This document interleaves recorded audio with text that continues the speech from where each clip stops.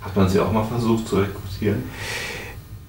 Äh, nein, aber ich weiß äh, von, von anderen Menschen, dass sie, dass, äh, wie, wie das abgelaufen ist. Also da gab es in, unserem, in unseren Kreisen viele, äh, die sich auf eine ganz besondere Weise äh, davon losmachen konnten. Sie haben nämlich, weil sie aus kirchlichen Kreisen äh, kamen, gesagt, ich habe mit meinem Seelsorger darüber gesprochen, dass sie mich anwerben wollten und der hat mir abgeraten. Und damit war das Ganze hin weil ja da eine Dekonspiration erreicht war. Der Seelsorger hatte aber Schweigepflicht, also ein Pfarrer hatte ja Schweigepflicht und dem konnte man ruhig erzählen, was einem begegnet war. So hatte man also den eigentlich äh, doch noch zur Stange gehalten und gesagt, ich, ich habe ja kein, mit keinem darüber gesprochen, der es weitergeben kann, aber ich kann nur leider doch nicht für euch arbeiten. So haben sich viele dessen entledigt. Das wurde einem auch als Rat gegeben. Wenn man gefragt wird, dann... Äh, sagt doch, ihr habt mit einem Dritten darüber gesprochen, einer Vertrauensperson, äh, um euch zu beraten und dann lassen sie euch in der Regel in Ruhe.